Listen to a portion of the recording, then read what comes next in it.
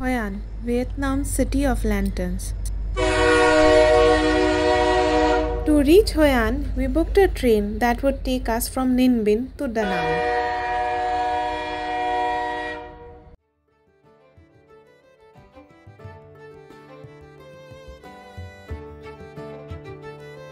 The train route from Ninh Binh to Da Nang goes through Vietnam's beautiful countryside and the spectacular Hai Van Pass.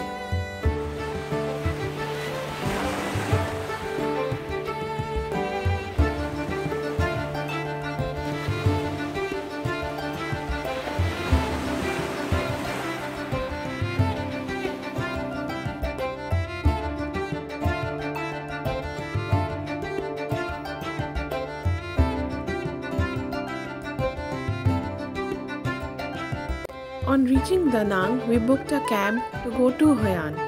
That's the Dragon Bridge of Da Nang.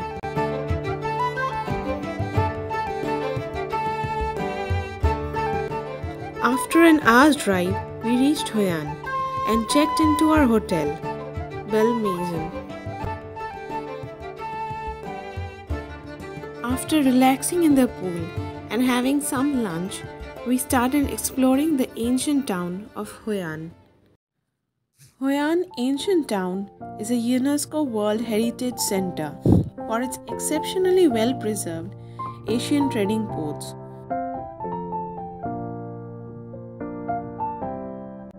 The streets and the buildings of Hoi An reflect a fusion of indigenous and foreign, mainly Chinese, Japanese, and French influence.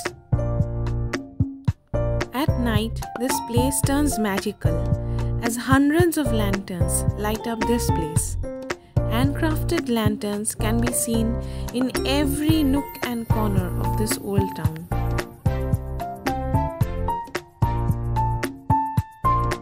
Visitors from all over the world gather here and drop floating lanterns on the Thu Bon River.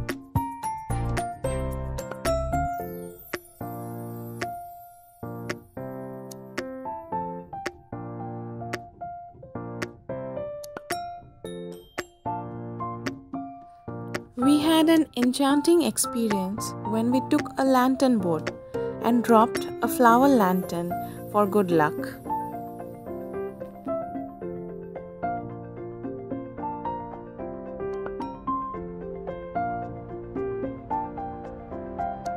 Next morning, after having breakfast, we rented a scooty and headed towards Anbang Beach.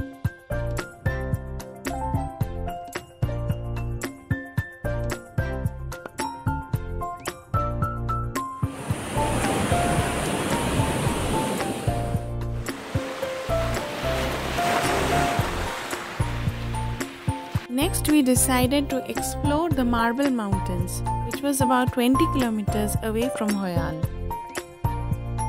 It is a cluster of five marble and limestone hills with hidden caves, beautiful shrines and pagodas, stone sculptures, and bonsai.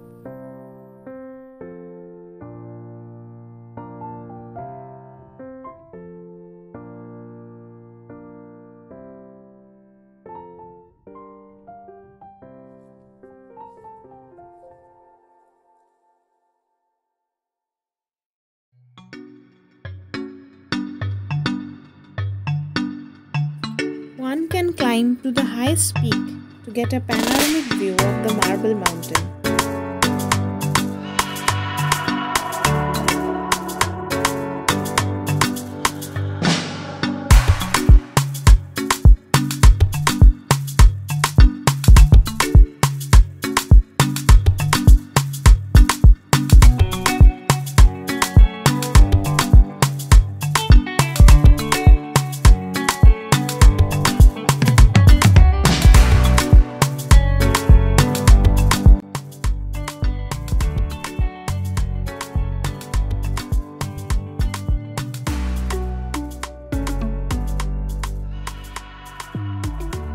We came back to Hoi An and spent our last evening in Hoi An, relaxing and enjoying the poetic atmosphere of this fairy tale town.